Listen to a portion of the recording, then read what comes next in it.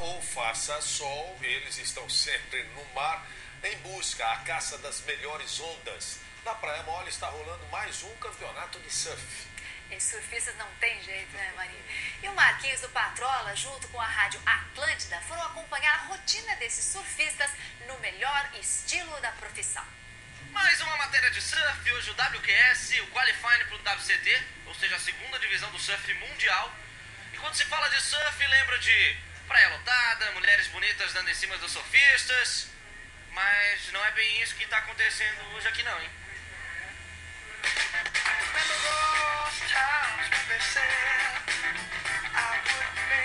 Quero dar uma ideia pro povo da RBS, tá? Porque eu vim aqui nos bastidores do WQS. Massagem. O povo sofre, a gente sofre lá também, é legal, massaginha, né, pro atleta, a gente que é atleta do microfone e tal. O que, que ajuda essa massagem aí pra relaxar o atleta? todo mundo precisa, né?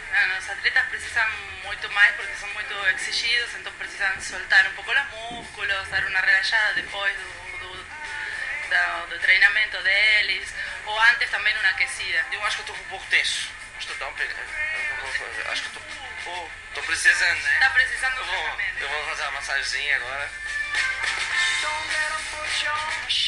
Parece que tá acabando o campeonato por hoje, condições de mar ou condições de tempo, o que, que é?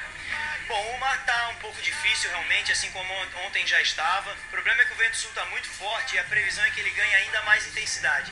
Se o vento passar dessa velocidade e atingir o que a previsão indica, que vai passar dos 22 nós, aí pode se tornar uma condição de voar prancha, voar barraca, esse tipo de coisa. Por essa razão, a comissão está optando por segurar o evento para amanhã.